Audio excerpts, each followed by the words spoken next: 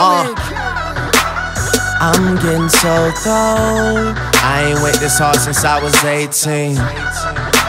Apologize if I say anything I don't mean. Like, what's up with your best friend? We could all have some fun, believe me. What's up with these loonies?